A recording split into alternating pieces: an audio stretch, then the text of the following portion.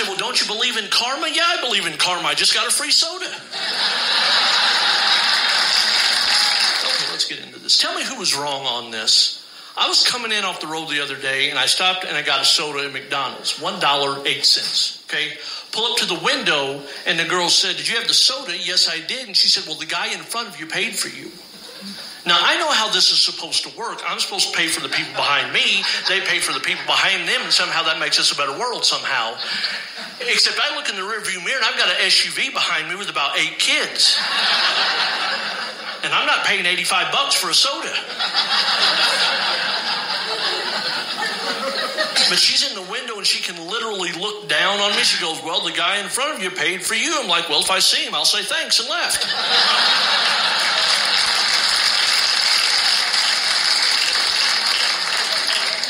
And so I'm telling my wife about this. She said, Well, you're supposed to pay for the people behind you. I know that. I'm not going to do that. She said, We can afford it. That's not the point. She said, Well, don't you believe in karma? Yeah, I believe in karma. I just got a free soda.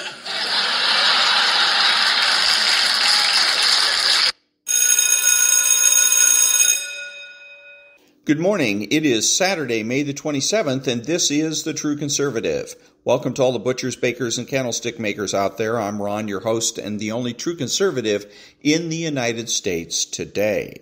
So, today, after the Serenity Prayer and the Star Spangled Banner, we will have My Take, Target, The Rape of the Mind, No Free Lunch, Donald Trump, and I the Jury, Mike from Mike Hammer and Mickey Spillane.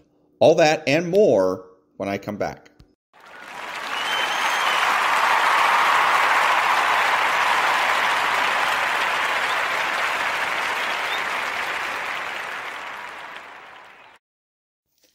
God grant me the serenity to accept the things I cannot change, the courage to change the things I can, and the wisdom to know the difference. Amen.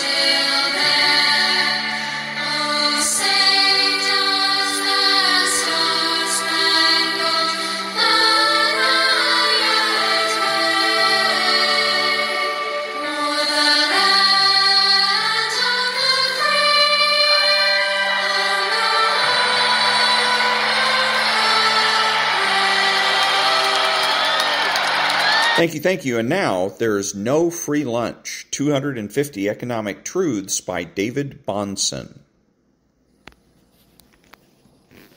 Virtue and discipline. As it turns out, our capitalist age is generally not an age of discipline. Far from it. Our society, in most respects, is a study in unbounded appetite. Our chief public health problem is obesity. Our foremost social pathologies result from an absence of sexual restraint and personal responsibility. Our popular culture, much of the time, is a diabolical mix of Babylonian decadence and Philistine vulgarity and our public life is a gluttonous feast upon the flesh of the future. We use more than we need, spend more than we have, and borrow more than we can pay. For all of our immense wealth, we somehow manage to live far beyond our means. In fact, it is almost fair to say that we lack for nothing except discipline. Yuval Levin. No proponent of free enterprise can ever presume the sufficiency of the market in restraining carnal appetites.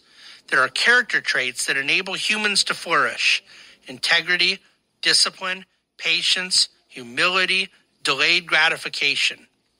And the absence of these character traits goes a long way towards undermining human flourishing. And that was There's No Free Lunch by David Bahnsen.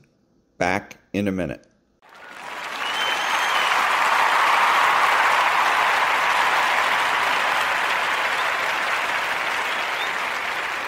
Thank you, thank you.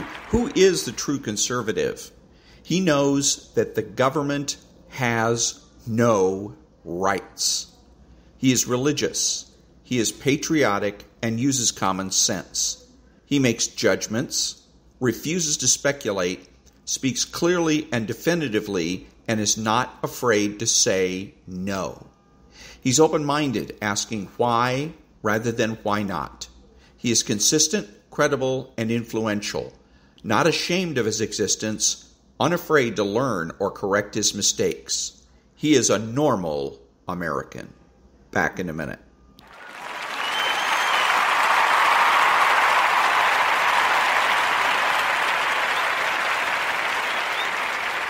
Thank you, thank you. What are the true conservatives' suggested political priorities? Number one, the abolition of abortion throughout the land. Number two, make nuclear, chemical, and biological weapons obsolete. Number three, immediate decertification of all public employee unions. Four, the immediate assignment of criminal and civil liabilities to all government regulators. Number five, the immediate repeal of the so called Patriot Act. Number six, the immediate repeal of all emergency dictator laws. Number seven, the reinstatement of writs of outlawry. Eight, government sponsored recalls, ballot initiatives, and referendums. Nine, a flexible minimum wage. Ten, means tested health care. Eleven, the immediate and permanent prohibition of investment banking by any office holder. Back in a minute.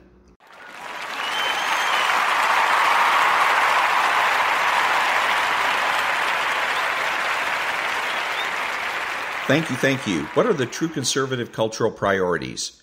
Bring back hierarchy. Bring back the admiration of intelligence, morality, and beauty. Bring back single income households, integration, parenting, the primacy of existence, certainty of knowledge, and universal rights and wrongs. Bring back principled behavior, masculinity and femininity. Bring back Adam 12, John F. Kennedy, the gold standard, pre HMO medical care, and nonprofit news.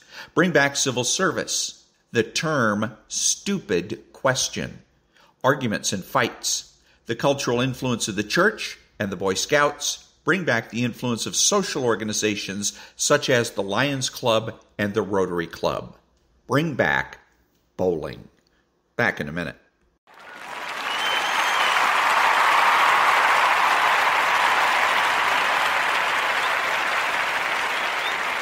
Thank you, thank you. So I'm listening to uh, Matt Walsh on the radio, and uh, he is uh, he's talking about Target and uh, the apparently Target's the target of a boycott, another boycott. And I've already stated the position on boycotts, but whatever. Um, I'll say it again. To be a true conservative, if you're going to in a situation with Target or Bud Light or anybody else, if you decide you can't shop at Target, let's stick with Target anymore because it just so bothers you. It just so bothers you. So you're going to switch, say, to Walmart. That's still conservative. If, however, you're doing it because Matt Walsh on the radio tells you to do it, uh, because somebody else uh, bullies and intimidates you into doing it, because we have to, we have to take some kind of a stand, or we we have to create some kind of a movement. You're not being conservative. That's all there is to it. So. Now, uh, Matt Walsh is saying that uh, Target said that they're going to go ahead and uh, make some sort of modifications, take down their pride displays or, or whatever because of violence. Now, the immediate thing to say, to do, is to simply deny it. say there is no violence, there is no such thing. Target didn't come out with specifics, they just threw it out there because of violence. Now, Matt Walsh made a big mistake. Matt Walsh went ahead and said that uh, he tried to prove that Target was not the victim of violence. And so he said that there were apparently somebody, uh, news p- people, he didn't say which ones, went to Target and asked for specific details on the threats, and Target couldn't produce them. And so, on that basis, Matt Walsh concludes that there was no uh, violence. Uh, but it doesn't prove anything. It doesn't prove that there wasn't violence. It just proves that Target doesn't happen to have the evidence uh, handy that there was any uh, violence. Okay, you can't prove a negative. You can't prove something didn't happen. You can't prove something shouldn't happen. The way to work this is make them prove it. And the best way to do that in this particular case is when uh, Target comes out and says, well, we're, we're going to go ahead and take this down, but it's because of violence. Deny it. Say, no, it isn't. And leave it at that. Let them, the tar- target, prove. Uh, another way is it says, no, it isn't. Say, there was no violence. There was no violence. And um, then let Target prove that there was, because the burden of proof is on Target. You make a claim like that, if you don't have proof to back it up, then it's an arbitrary claim. And if it's an arbitrary claim, we get to ignore it. Back in a minute.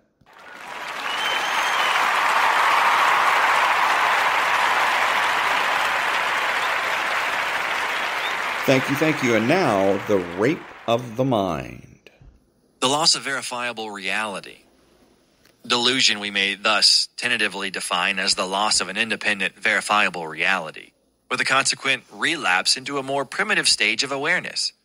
Just as the young woman we spoke about earlier began to believe in and suffer from her headaches, so the man who sells his private fantasy first as a rumor and then as a factual truth gradually loses his awareness that his initial statements were, in fact, deceits. And his delusion becomes a kind of permanent petrification of his original primitive wishful thinking. There are several factors which promote deluded thinking. Retrogression and primitivization may occur as a result of physical disease, particularly diseases of the brain, and it is with this type of delusions that psychiatrists deal. Many brain diseases put out of operation the brain cortex, the organ which developed last in the evolutionary process and which makes us aware and controls our thinking. When this disturbance of function happens, genetically older types of brain functioning have to take over. Most of the causes of delusions are not purely organic, however. The same effect of regression may be produced by hypnosis and mass hypnosis, which, by dislocating the higher forms of alert consciousness, reduce the subject to the primitive stage of collective participation and of oneness experience. If awareness and reality confrontation become rigid and automatic, if man does not look for alert and repeated verifications of what he finds in the world, he may develop delusions, ideas not adapted to the reality situation. Apparently, the human being requires constant confrontation and verification with various aspects of reality if he is to remain alive and alert. When experience is petrified into dogma, the dogma itself stands in the way of new verification and of new truth. The delusion of a nation that calls itself the chosen country makes it harder for that nation to collaborate with other nations. How deeply involved the process of thought control is with the general formation of ideas in our time can be shown by the following experience. After the First World War, I made the acquaintance of a German philosopher dedicated to the idealistic philosophy of his country. Germany went through a creative phase. New ideas arose of fraternity and world peace. Germany, the defeated country, would show its spiritual power. During our vacations, we walked together toward the sunny mountains of Ticino and devoted our philosophical conversation to the eternal yearnings of mankind for harmony and friendship. We became friends and wrote to each other about our mutual work till the shadow of totalitarianism came over his country. At first, he was skeptical and even critical about Nazism. Our correspondence diminished, and when he gradually became Gleichgeschaltet and a member of the party, The final mental cleavage followed. I never heard about him anymore. So many philosophers surrender their theoretical thinking under the impact of powerful mass emotions. The reason lies not only in anxiety and submissiveness, it is a much deeper emotional process. People want to speak the language of their country and fatherland. In order to breathe, they have to identify with the ideological cliches of their surroundings. Spirituality, they cannot stand alone. Stefan Zweig wrote during the First World War that this inner process of speaking, along with the chauvinistic voices around him, was experienced by him as a deep inner conflict. I did not have the will anymore to be just to the others. Mass delusion. It is interesting to note that the phenomenon of institutionalized mass delusion has so far received little scientific treatment, although the term is bandied about wherever the problems of political propaganda are discussed. But science has shied away from scrutinizing the collective mental aberration we call mass delusion when it is connected with present day affairs. It is the historical examples, such as witchcraft and certain forms of mass hysteria, that have been examined in great detail. And that was Mass Delusion from The Rape of the Mind. Back in a minute.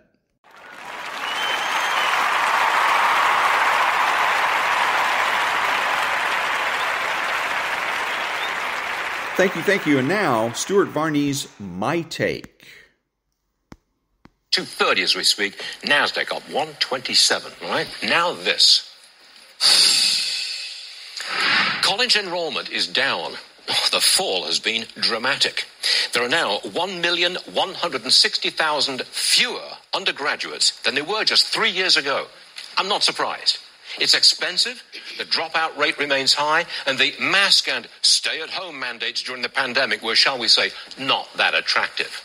But I've got a different bone to pick. I think the college experience has been degraded. No, I'm not going to give you the usual, when I was young. No, I'm not going to do that. I'm simply saying that college today is not all that it should be. Start with this from Scott Galloway. He's a professor at NYU. Roll it. You should never be at home. That's what I tell young people. Home is for seven hours of sleep, and that's it. The amount of time you spend at home is inversely correlated to your success professionally and romantically. You need to be out of the house. Did you hear that? Get out of the house for professional and romantic success. Yes, college is a place to meet people with whom you may have a romantic interest. Romance in college today? Ha ha, come on. Let's just say it is discouraged. In some places, men are supposed to ask permission to hold hands. That's a pretty good way to kill the buzz, isn't it? And don't you dare express an opinion of your own unless it conforms to the groupthink that now dominates. You step out of line and you become one of Hillary's deplorables. The college experience should be one of free association and open debate. Develop your brain and your social skills by being on campus, engaging, discussing, and maybe meeting someone you love. Now I'm going to do the when I was a lad thing. 55 years ago, I spent my college years feverishly discussing politics, culture, race, sex, theatre, movies, and anything else that came into our young heads, usually in the bar. No computers, no internet, fax, cell phones, cable TV, or metaverse. I think I learned at least as much about growing up as I did in the lectures, that the, in the, uh, at least as much as I did in the lectures. That's the way it ought to be now, but it's not yet. Second hour of Varney. I'm just getting warmed up. So, anyways, uh, so that's uh, Stuart Varney's. But the whole thing with college, as I've said before, the thing he doesn't touch on two things. First of all, if students are not going to school, what are they doing? You're, you you come out of high school. Vast majority of jobs that you're going to have to get are going to require some kind of a college degree, an associate's degree, or a bachelor's degree. So, if you're not going to do that, what are you doing? Are you staying home? Are you going out and get trying to get a job that doesn't require a bachelor's degree? Are there any of those jobs left? Don't know because uh, Stuart Varney doesn't say. So the other thing is that he doesn't address the root cause. The left, the Democrats love their root causes. Oh, well, we got to find out the root cause. Well, the root cause of overpopulation in colleges is Keynesian economics and the gold standard, or not the gold standard, but the um, uh, minimum wage because of the minimum wage and because it's not flexible, it keeps going up and up and up and up. businesses have to justify paying a fry cook $15 an hour. Now they want it to be $17 to $20 an hour. Why? Just because they say so. How do you justify that? One of the ways that you justify that is it with number one with experience. Used to be that you could they had something called a training wage. You could come in, get a job at less than the minimum wage until they got you trained, and then once you were trained, uh, say for after six months, then you would go ahead and get the full wage. No more because of the minimum wage. So now you have to have experience, and who from who coming out of high school has any experience? Very, very few. The other thing is then you have to have a bachelor's degree.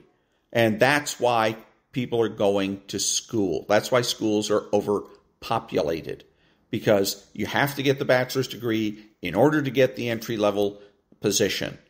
So, the way to solve that problem either make the the uh, minimum wage flexible so that drops in bad times and goes up in good times, or even better yet, do away with Keynesian economics and let's restore the gold standard.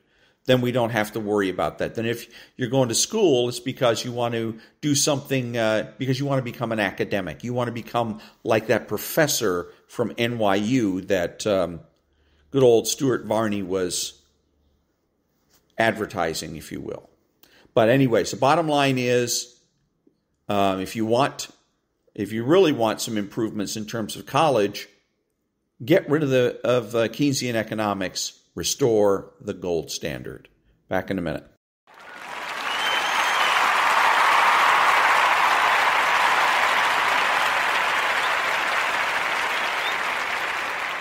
Thank you, thank you. And now Donald Trump calls for a purge against these criminals in power. The Russia hoax was the most atrocious weaponization of our government in American history. As the Durham report makes clear, it was a crime like no other. Seven years ago, I ran for office, taking on all of the corrupt forces who got rich, bleeding America dry. They got absolutely rich, so rich you wouldn't even believe it. Our agenda was a threat to the entire political establishment. In response, a group of unelected thugs in the senior ranks of our government, working with crooked Hillary Clinton, launched a coup attempt to try and sabotage our campaign, our presidency, our movement, and our country. Crooked Hillary and Crooked Joe Biden. You know, we switched names now. We call Hillary Lovely Hillary and Crooked Joe because we've seen so much. And James Comey and Andrew McCabe, Barack Hussein Obama, all of them and all of the rest knew that it was a lie, a total lie. It was a scam. The entire time was all a big hoax. And they put our country through hell. The destruction the Russia hoax caused to America is almost incalculable. It subverted our democracy, it weaponized our law enforcement, it stoked global conflict, and it wrecked countless lives. It provided the pretext for the left's war on our freedom of speech. Worst of all, the FBI and the DOJ, both very corrupt, have interfered in every election since 2016, and now they are interfering in the 2024 presidential election before your very eyes. There must be a reckoning. For better or worse, accountability for these crimes lies in the hands of the voters. The Durham report has made the stakes very clear, and now the choices are either the deep state destroys America or we destroy the deep state. With your vote, we will remove this cancerous culture of corruption from our government, and we will purge these criminals from the halls of power once and for all. Our country is in serious trouble. We can't let this happen. Thank you very much. Coming in, House Oversight Chair James Comer. And that was uh, Donald Trump talking about purging the government of these criminals. Back in a minute.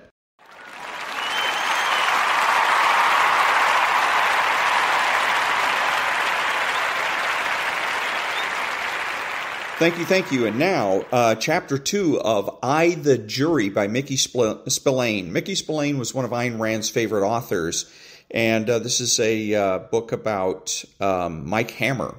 And so, so far in chapter one, Mike Hammer has discovered uh, with the police that uh, one of his best friends has been murdered, rather brutally so. And so, Mike Hammer is uh, in a race with the police to get to the murderer first. The police want to get to him to um, uh, give him their kind of justice, and Mike Hammer wants to give him his kind of justice.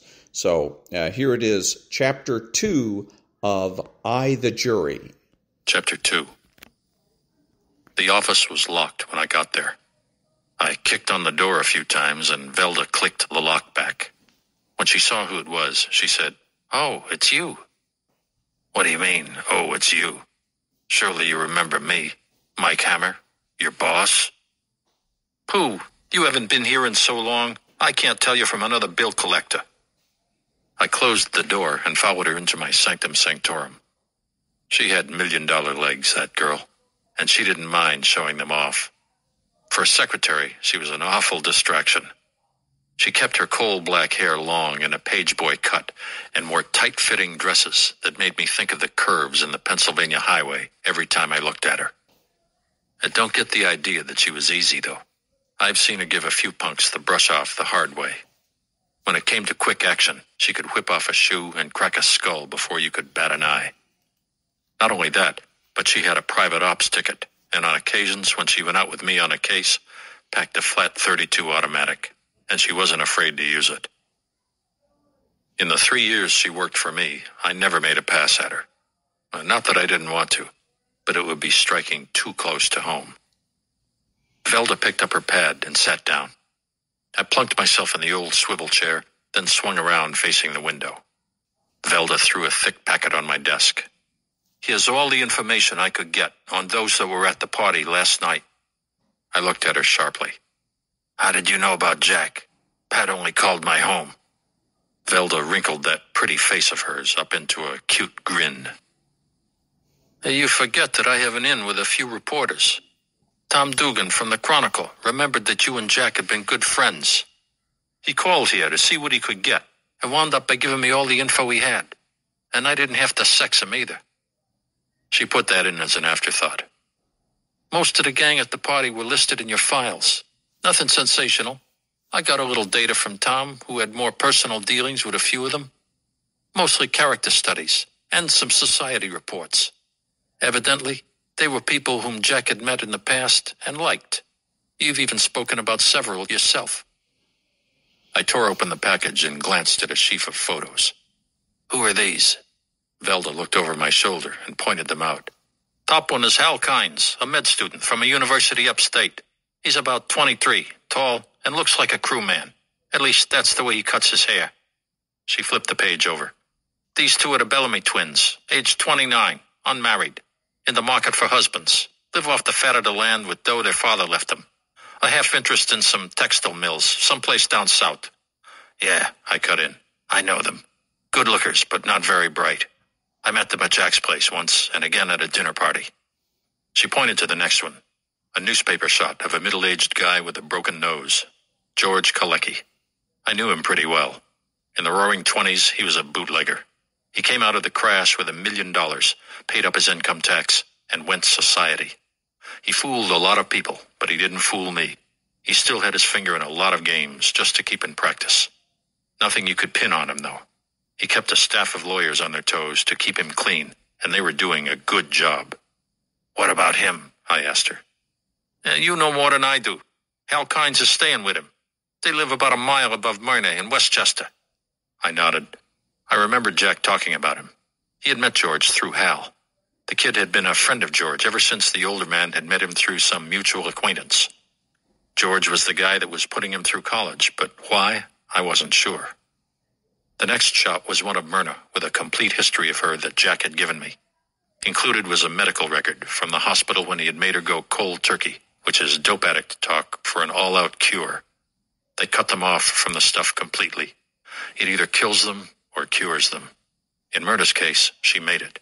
But she made Jack promise that he would never try to get any information from her about where she got the stuff. The way he fell for the girl, he was ready to do anything she asked. And so far as he was concerned, the matter was completely dropped. I flipped through the medical record. Name, Myrna Devlin. Attempted suicide while under the influence of heroin. Brought to emergency ward of General Hospital by Detective Jack Williams. Admitted 31540. Treatment complete 92140. No information available on patient's source of narcotics. Released into custody of Detective Jack Williams 93040. Following this was a page of medical details, which I skipped. Here's one you'll like, chum. Velda grinned at me. She pulled out a full-length photo of a gorgeous blonde. My heart jumped when I saw it. The picture was taken at a beach, and she stood there tall and languid-looking in a white bathing suit. Long, solid legs, a little heavier than the movie experts consider good form, but the kind that make you drool to look at. Under the suit, I could see the muscles of her stomach. Incredibly wide shoulders for a woman, framing breasts that jutted out, seeking freedom from the restraining fabric of the suit. Her hair looked white in the picture, but I could tell that it was a natural blonde. Lovely, lovely yellow hair. But her face was what got me. I thought Velda was a good looker, but this one was even lovelier. I felt like whistling. Who is she? "Uh, maybe I shouldn't tell you. That leer on your face could get you into trouble, but it's all there. Name's Charlotte Manning. She's a female psychiatrist with offices on Park Avenue and very successful. I understand she caters to a pretty ritzy clientele. I glanced at the number and made up my mind that right here was something that made this business a pleasurable one. I didn't say that to Velda. And maybe I'm being conceited, but I've always had the impression that she had designs on me. Of course, she never mentioned it, but whenever I showed up late in the office with lipstick on my shirt collar, I couldn't get two words out of her for a week. I stacked the sheaf back on my desk and swung around in the chair. Velda was leaning forward, ready to take notes. Want to add anything, Mike? Don't think so. At least not now. There's too much to think about first. Nothing seems to make sense. Well, what about motive? Could Jack have had any enemies that caught up with him? Nope. None I know of. He was square. He always gave a guy a break if he deserved it. Then, too, he never was wrapped up in anything big. Did he own anything of any importance? Not a thing. The place was completely untouched. He had a few hundred dollars in his wallet that was lying on the dresser. The killing was done by a sadist. He tried to reach his gun, but the killer pulled the chair it hung on back slowly, making him crawl after it with a slug in his gut, trying to keep his insides from falling out with his hand. Mike, please. I said no more. I just sat there and glowered at the wall. Someday I'd trigger the bastard that shot Jack. In my time, I've done it plenty of times. No sentiment. That went out with the first. After the war, I've been almost anxious to get to some of the rats that make up the section of humanity that prey on people. People. How incredibly stupid they could be sometimes. A trial by law for a killer. A loophole in the phrasing that lets a killer crawl out. But in the end, the people have their justice. They get it through guys like me once in a while. They crack down on society, and I crack down on them. I shoot them like the mad dogs they are, and society drags me to court to explain the whys and wherefores of the extermination. They investigate my past, check my fingerprints, and throw a million questions my way. The papers make me look like a kill crazy shamus, but they don't bear down too hard because Pat Chambers keeps them off my neck. Besides, I do my best to help the boys out, and they know it. And I'm usually good for a story when I wind up a case. Velda came back into the office with the afternoon edition of the sheets. The kill was spread all over the front page, followed by a four column layout of what details were available. Velda was reading over my shoulder, and I heard her gasp. Did you come in for a blasting? Look! She was pointing to the last paragraph. There was my tie up with the case, but what she was referring to was the word for word statement that I had made to Jack. My promise, my word to a dead friend that I would kill this murderer as he had killed him. I rolled the paper into a ball and threw it viciously at the wall. The louse! I'll break his filthy neck for printing that. I meant what I said when I made that promise. It's sacred to me, and they make a joke out of it. Pat did that, and I thought he was a friend. Give me the phone. Velda grabbed my arm. Take it easy. Suppose he did. After all, Pat's still a cop. Maybe he saw a chance of throwing the killer your way. If the punk knows you're after him for keeps, he's liable not to take it standing still and make a play for you. Then you'll have him. Thanks, kid, I told her. But your mind's too clean. I think you got the first part right, but your guess on the last part smells. Pat doesn't want me to have any part of him because he knows the case is ended right there. If he can get the killer to me, you can bet your grandmother's uplift bra that he'll have a tail on me all the way, with someone ready to step in when the shooting starts. Oh, I don't know about that, Mike. Pat knows you're too smart not to recognize when you're being tailed. I wouldn't think he'd do that. Oh, no? He isn't dumb by any means. I'll bet you a sandwich against a marriage license. He's got a flat foot downstairs, covering every exit in the place, ready to pick me up when I leave. Sure, I'll shake them, but it won't stop there. A couple of experts will take up where they left off. Velda's eyes were glowing like a couple of hot brands. Are you serious about that? About the bet, I mean? I nodded. Dead serious. Want to go downstairs with me and take a look? She grinned and grabbed her coat. I put on my battered felt and we left the office, but not before I had taken a second glance at the office address of Charlotte Manning. Pete, the elevator operator, gave me a toothy grin when we stepped into the car. Evening, Mr. Hammer, he said. I gave him an easy jab in the short ribs and said, What's new with you? "Mm, nothing much, except that I don't get to sit down much on the job anymore.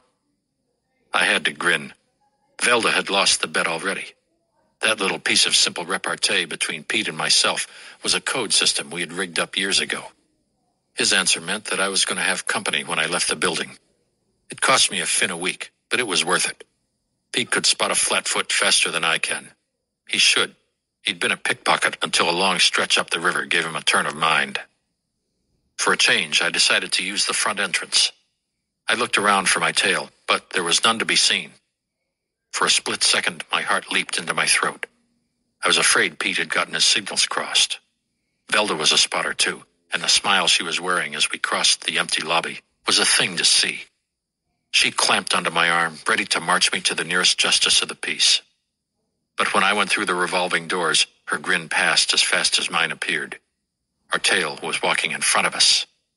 Velda said a word that nice girls don't usually use, and you see scratched in the cement by some evil-minded gutter snipe. This one was smart. We never saw where he came from. He walked a lot faster than we did, swinging a newspaper from his hand against his leg.